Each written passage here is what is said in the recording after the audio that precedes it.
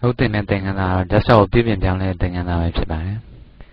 ကျွန်တော် desktop ရဲ့နောက်ခံ background တွေဒီ taskbar တွေ window တွေပေါ်မှာရှိတဲ့ color လေးတွေပြည့်ပြင်ပြောင်းလဲတာပါဒီလိုပြည့်ပြင်ပြောင်းလဲမယ်ဆိုရင်တော့ desktop ပေါ်မှာ right click နှိပ်လိုက်ပါ personalize ဆိုတဲ့ menu ထဲဝင်ပါ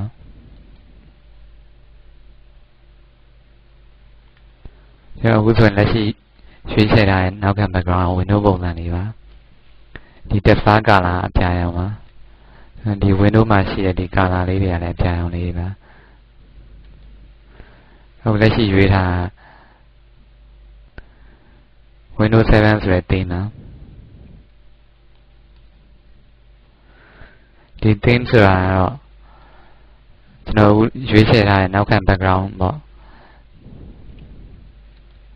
ဒီ window ပုံစံလေးနောက်တစ်ခါဒီ taskbar ရဲ့ color ဒီ window ရဲ့ color ရဲ့ bottom ပုံစံတွေဒါတွေအားလုံးကိုစုပြီးခေါ်တာပါ theme ဆိုတော့ဟိုကျွန်တော် Windows 7 theme စာတခြား theme တစ်ခုရွေးမယ်ပေါ့ဒါဆိုရင်ကိုရွေးချယ်ခြင်းနဲ့ theme ဆိုရွေးလိုက်ပါဟို architecture ဆိုရွေးလိုက်ပါပြီဒါဆိုရင် color လေးကပိုရင့်သွားပါလိမ့်မယ်ပြန်အောင်လေးနောက်ခံ background လည်းပြောင်းသွားပါတယ်ဒီလိုပဲတခြား character landscape စတဲ့ theme တွေလည်းပြောင်းလို့ရပါတယ် ဒါဆိုရင်နောက်ခံ background တွေပြောင်းသွားဆိုသူနဲ့လိုက်ဖက်တဲ့ color ပုံစံလေးပေါ့ text color လေးတွေကစာကုန်ပြောင်းသွားတာတွေ့ရမှာပါအောက်မှာဆိုလဲကျွန်တော် basic color အသိမရှိရှိပါတယ်ဒါတွေကတော့ color အနေနဲ့ဆိုရင်မလှပါဘူးဒါပေမဲ့ကျွန်တော်ဒီ system ပေါ့ hardware ဘိုင်းနေနဲ့ computer တွေ Windows 7သုံးနေအခုလို basic theme နေနဲ့သုံးရင်ပိုအဆင်ပြေပါတယ်ကျွန်တော် ပုံမှန်တိုင်းပြန်ထားခြင်းနဲ့ဆိုတော့ဒီ Windows 7ပဲပြန်ရွေးလိုက်ပါအခုလို theme တစ်ခုလုံးမှာဒီ color တွေကိုမပြောင်းခြင်းဒီနောက်ခံ background လေးတစ်ခုပဲပြောင်းခြင်းနဲ့ဆိုလည်းရပါတယ်ဒီမှာ desktop background ဆိုတာရှိရတယ် desktop background နဲ့ဝင်ပါအဲ desktop background ထဲမှာ background တွေမျိုးစုံရှိပါတယ်တကယ်လို့ဒီ background တွေမပေါ်ခဲ့ဘူးဆိုရင်လည်းဒီက Windows desktop background ဆိုတာဝင်ရွေးပေးလိုက်ပါဒါဆိုဒီ background တွေပေါ်လာပါလိမ့်မယ်ပြန်ကိုနှစ်သက်တဲ့ background ပုံတစ်ပုံရွေးလိုက်ပါပြန် save change ဆိုတာနှိပ်လိုက်ပါဒါဆိုရင်ဒီ background လေးပေါ်လာပါပြီ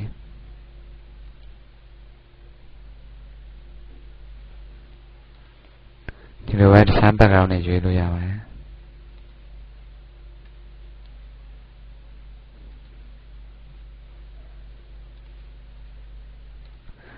အခုလက်ရှိရှိနေဒီ background တွေပြင်ကိုယ်ကွန်ပျူတာထဲမှာရှိတဲ့ background တွေကိုယ့်ရဲ့မိသားစုတက်ပုံတွေစားတဲ့ပုံတွေလည်းနောက်ခံ background ဖြစ်ပြုလုပ်ထားလို့ရပါတယ်ဒီ browse ကိုဝင်ပါ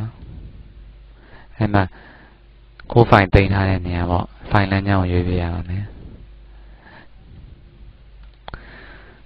ကိုယ်တက်ပုံတွေရှိတဲ့ file လမ်းကြောင်းကိုဝင်ရွေးပါပြင် okay နှိပ်လိုက်ပါ ဒီကကိုနှစ်သက်တဲ့ပုံတွေပေါ်လာပြီဆိုရင်ကိုထားခြင်းတဲ့ background ရွေးလိုက်ပါပြင် save ချိန်ဆိုတာနိုင်တယ်ပါဒါဆိုရင်သူ့ရဲ့ default background နဲ့မဟုတ်ပဲတခြားကိုရွေးချက်ထားတဲ့ background တွေပေါ်လာပါပြီနောက်တစ်ခုကတော့ကျွန်တော်ဒီ window ရဲ့ color တွေ taskbar မှာရှိတဲ့ color လေးကိုပြုပြင်ပြောင်းနေတာပါဘယ်လိုလဲ sky ဆိုရမိုးရအောင်လေးပါအဲဒီစားကျွန်တော် စားကာလာတစ်ခုရွေးခြင်းနဲ့ပေါ့ဟိုဒီမှာခင်းအောင်လေးရွေးမယ်ဆိုရင်ဒါဆိုရင်ဒီကာလာလေးတွေကခင်းအောင်ဖြစ်သွားပါပြီပန်းအောင်ရွေးမယ်ဆိုတော့ပန်းအောင်လေးဖြစ်သွားပါပြီအဲဝါရောင်ပေါ့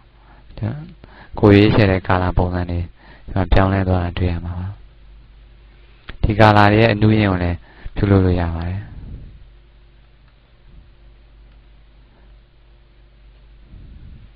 ဒီဘက်ချမ်းမှာဆိုရင် ညာလေးကိုဆွဲလာတယ်ကာလာတွေကပိုကျင်းသွားပါတယ်ကာလာတွေပိုကျင်းသွားတဲ့အခါအရောင်တော့ပိုလှသွားပါတယ်ဒါပေမဲ့နောက်ခံ background ပေါ့ကျွန်တော်ဟိုဆိုနောက်ခံပုံတွေမမြင်ရတော့ပါဘူးဒါကို short ပေးလိုက်မယ်ဆိုရင်တော့နောက်ခံပုံတွေပိုမြင်ရမှာပါ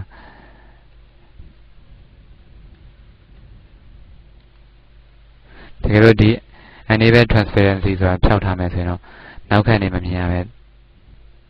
ကိုရေးချဲ့ထားတဲ့ color တွေအတိုင်းသာဖြစ်နေမှာပါ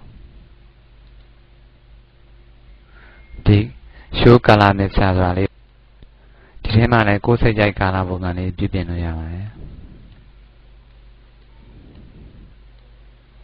ပြင် save change ဆိုတာနှိပ်လိုက်ပါ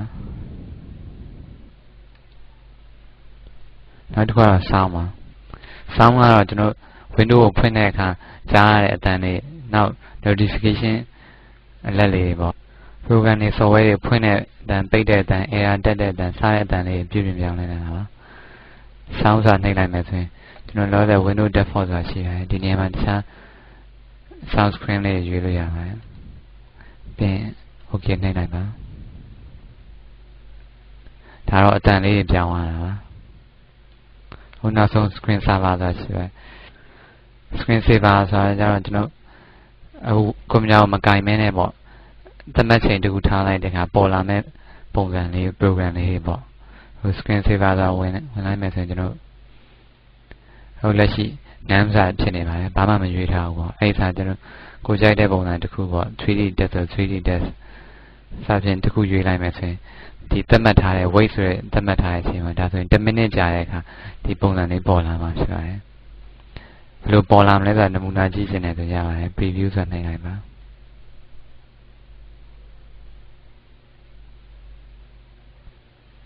pointer လေးလှုပ်လိုက်ရင်ပြန်ပြောက်သွားပါလိမ့်မယ်ဒီထဲကအကြောင်းအရာတွေလည်းပြုပြင်လို့ရတယ် setting ဆိုတာနှိပ်လိုက်ပါဒီ setting ထဲမှာကျွန်တော်ကိုရိုက်ချင်တဲ့စာသားတွေရိုက်လို့ရပါတယ်